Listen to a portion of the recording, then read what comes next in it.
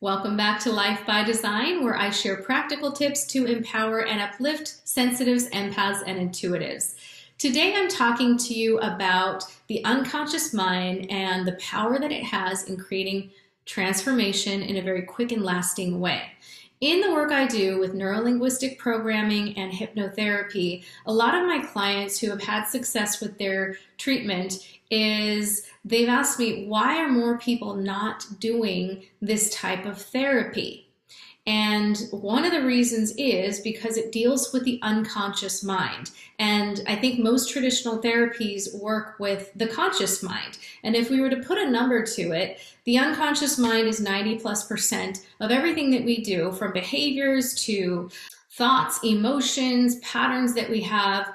And then you have the conscious mind, which is just a very small fraction of everything we do. And we could say that it's our thinking rational mind and that's only you know 10% or even less than that of everything that we do. And so when we look at traditional therapy, we're working with that 10% or less, which is a very limited part of ourselves. When we work with the unconscious mind, there is a vast landscape that we are working with.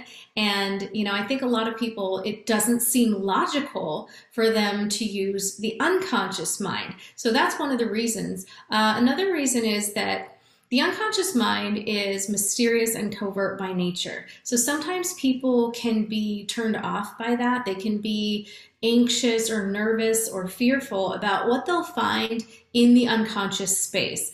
But what I want to reassure you with is that your unconscious mind heals in layers and it's not going to present anything to you for healing or work unless you are actually ready for it. Because one of the prime directives of the unconscious mind is to protect you and keep you alive. So it's not actually going to bring forth something that is going to destroy you. So we can just kind of cancel out that fear right there.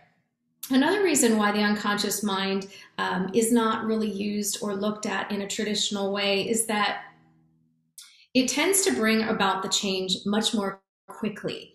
And this is what I love about the type of therapy that I do is that it's very fast um, and it doesn't require you to rehash any of the painful past. So a lot of times people have in their mind that if I'm creating strong lasting, powerful transformation, it has to be really difficult. It has to take a really, really long time. And that's not entirely true. You know, I tend to attract people who want change, who are ready for change right now.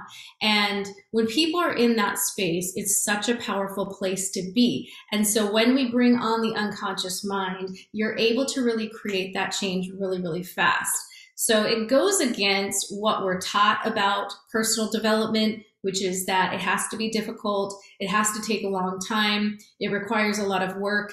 And, you know, I would say there's a certain amount of, of work and showing up that is required, but not in the way where it's going to take years and years and years to be able to get a result. Another reason why the unconscious mind is often overlooked in healing and personal development is because people just don't know how to access it.